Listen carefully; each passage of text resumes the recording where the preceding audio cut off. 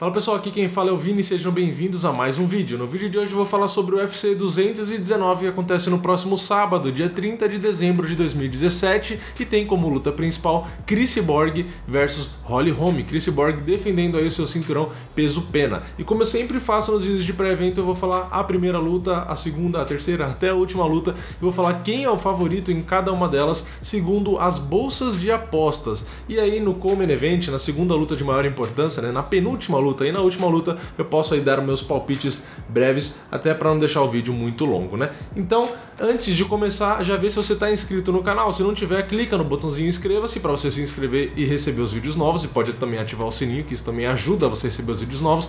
E também já pode deixar o like aí para ajudar o canal, beleza? Então, bora lá. Primeira luta da noite é na categoria peso médio. Tem o Marvin Vettori contra o Omari Akhmedov. E o favorito, segundo as bolsas de apostas, é o Marvin Vettori. Segunda luta da noite, válida pela categoria peso galo, a gente tem o Mark de la Rosa contra o Team Elliott. E o favorito, segundo as bolsas de apostas, é o Team Elliott. Terceira luta da noite, válida pela categoria peso mosca, a gente tem o Luiz Smoka contra o Matheus Nicolau. Matheus Nicolau Stuff, não sei se alguém vai lembrar dele, mas ele é Stuff.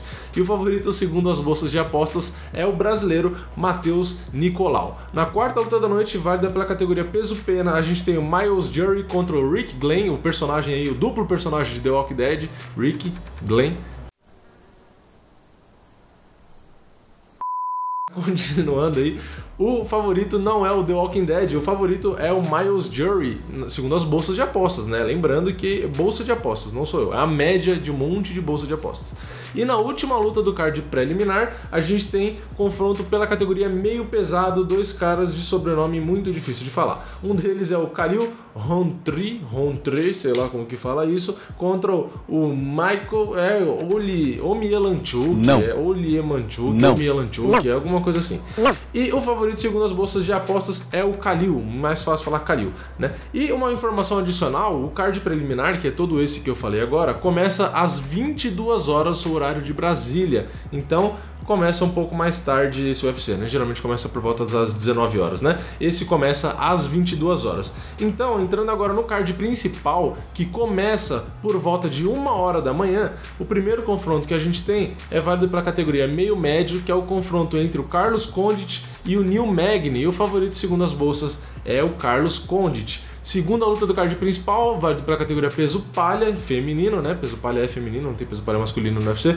Carla Esparza contra Cynthia Calvídio. E a favorita é a Cynthia Calvídio, né? Segundo as bolsas de apostas aí. Terceira luta do card principal, válida pela categoria peso leve, a gente tem Dan Hooker contra o Mark Diakiese e o favorito, segundo as bolsas, é o Diakiese. Entrando agora então no Common Event, a gente tem o brasileiro Edson Barbosa contra o Khabib Nurmagomedov, luta válida pela categoria peso leve. Quem vencer essa luta deve ficar muito próxima de uma disputa aí de cinturão, seja com Tony Ferguson, seja com Conor McGregor, que depende do que, que vai resolver também dessa situação toda, porque Tony Ferguson, que é o campeão interino, fez cirurgia no cotovelo, Conor McGregor, ninguém sabe se volta, se não volta, quando volta, por que volta, né? Bem difícil de saber essa situação, mas os dois estão com, a, com o pé ali na disputa de cinturão. Então, vencendo ali, eles entram nessa fila, né? Já logo depois de resolver esse assunto entre Tony Ferguson e McGregor. Se é que vai resolver. Se não resolver, eles enfrentam ou McGregor ou Tony Ferguson, né? Mas não tem nenhuma luta sem ser é, luta valendo o cinturão, né? Não, não, tem essa possibilidade, né? Ainda mais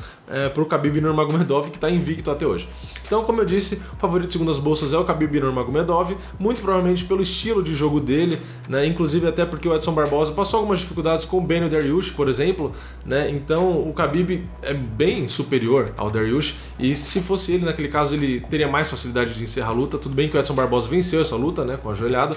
E também, por outro lado, o Khabib também passou dificuldades com o Michael Johnson, né? Então, é, se ele der as mesmas brechas que ele deu para o Michael Johnson, receber os mesmos golpes, se for com o Edson Barbosa, pode ser que ele também não, não resista, né? Enfim, é uma luta é, bastante complicada de, de pontuar, né, de dar o palpite, mas eu permaneço com o meu primeiro palpite, que é a vitória aí do Khabib Nurmagomedov, mas eu torço, claro, pro Edson Barbosa, mas eu acho realmente que o Khabib vai conseguir impor, eu acho que ele vai conseguir colocar para baixo, e ele não precisa colocar para baixo, é, tentar várias vezes, né? Uma vez que ele consiga colocar para baixo, ele consegue segurar o Edson Barbosa no chão e cansar ou até mesmo vencer por um nocaute ou finalização. E além do que, uma das melhores armas do Edson Barbosa são os chutes. E você chutar um wrestler não é uma boa opção, não é uma boa tática, porque ele pode é, usar ou agarrar sua perna para te derrubar, ou usar o momento do chute, a brecha, para poder encurtar e colocar para baixo. Então é, é uma questão mais de lógica, né? Você tem dois apoios, você tem as duas pernas no chão. A partir do momento que você chuta, você tira uma perna do chão. A partir do momento que você tirou um apoio do chão, é mais fácil de você cair. Então, se você não encaixar o chute, né, não, não conseguir manter a distância do seu adversário com esse chute, né, se o seu adversário conseguir encurtar, ele vai grudar em você e vai te derrubar. Então é mais fácil de te derrubar. Então é complicado usar os chutes. Inclusive pode ser parte da estratégia do Edson usar menos chutes para acabar não sendo colocado para baixo, né, para tentar manter a luta mais em pé. Só que o problema é que além tudo bem tem uma técnica excelente em pé, o Edson Barbosa, tanto nos chutes quanto nas mãos, só que ele não tem tanto punch e o Khabib também aguenta pancada. Então eu acho que ele não vai conseguir nocautear com um soco só, né? Então ele precisaria é, sim colocar uma sequência de golpes aí para tentar nocautear o Khabib. E o Khabib também não é bobo em pé, lógico, não tem a mesma técnica do Edson Barbosa, mas eu acho que ele tem técnica o suficiente para se defender e usar a luta agarrada dele, né? Ele não precisa se expor. Claro, caso ele tente se expor com o Edson, aí provavelmente ele pode acabar perdendo a luta aí mas eu acho que ele tem é, queixo e técnico suficiente para sobreviver em pé. Já se a luta for por chão, eu acho que o Edson Barbosa não sobrevive ao jogo do Khabib. Eu acho que por conta disso, dessas considerações, breves considerações, eu acho que o Khabib é, é favorito na, nas bolsas de apostas, né? Enfim, esses são meus comentários sobre essa luta. Vamos logo para a luta principal para eu falar também para vocês quem é a favorita segundo as bolsas de apostas. Tudo bem que não é muito difícil de saber, né?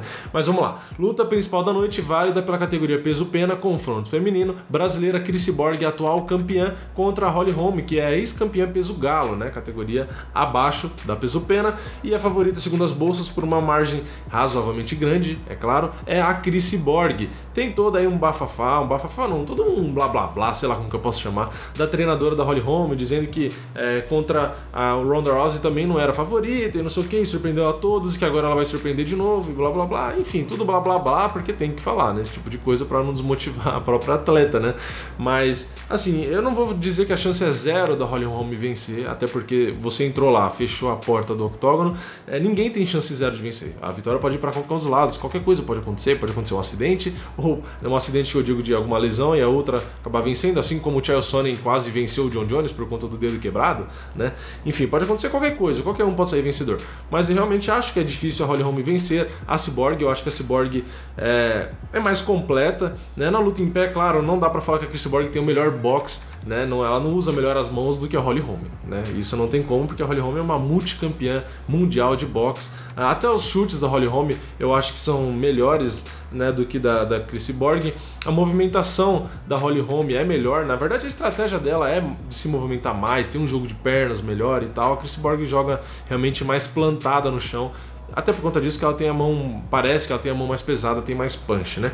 Só que eu acho que, é, mesmo a luta tendo 5 rounds, caso ela dure 5 rounds, porque a Holly Holm também não é fácil de nocautear, é, eu acho que essa luta provavelmente deve ir por decisão, mas eu acho que a Chris Borg tem condicionamento físico e ela tem um, arsenal de armas muito maior para administrar a luta nesses 5 rounds. Então, Caso ela realmente não consiga usar o Muay Thai dela para sobressair, né, para sobrepor o boxe da Holly Holm, ela tem outras opções. Então ela pode ir para luta agarrada. Ela é bicampeão mundial de jiu-jitsu na faixa marrom, né? Então ela tem a luta agarrada muito superior da Holly Holm.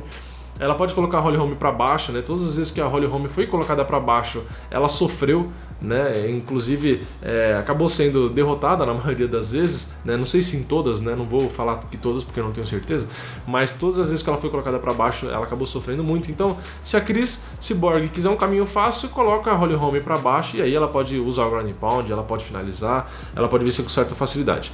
Caso a luta se desenrole em pé, ou porque a Chris Borg não quis colocar para baixo, ou porque a Holly Holm conseguiu defender as quedas, aí a Chris Borg também pode vencer, mas claro, é o caminho mais difícil. Então ela teria que tomar muito cuidado e como ela mesmo disse na entrevista, ela vai ter que procurar a Holly Holm, que a Holly Holm vai vir com essa estratégia de usar a movimentação. Então, manter a distância da média para longa, né, não vai querer ficar na curta distância, e ela vai querer usar a movimentação para fazer a Chris Borg ter que ir atrás dela, né, ficar perseguindo ela. E a Chris Borg falou aí na entrevista que já tem ciência disso e que vai caçar a Holly Holm e que uma hora ela vai achar a Holly Holm lá now e vai encher de porrada, né? Enfim, essas são todas as lutas e os favoritos segundo as bolsas e nas duas lutas principais dei um breve palpite e o favoritismo das bolsas coincidem com os meus favoritismos, que eu acho sim que o Khabib acaba vencendo e eu acho que Chris Borg também acaba vencendo aí a Holly Holm. Então é isso, se vocês gostaram desse vídeo pré-evento, deixa o like aí embaixo, comenta o que vocês acham desse card, da luta da Cyborg, da luta do Edson Barbosa, comenta aí o que vocês quiserem,